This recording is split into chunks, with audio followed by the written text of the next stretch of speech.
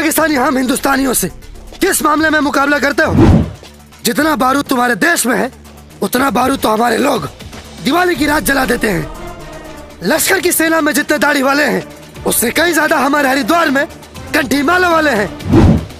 तुम पाकिस्तानी जितना खाते हो, उससे कई ज़्यादा तो हमारे यूपी बिहार वाले खैनी खा के थूक देते हैं।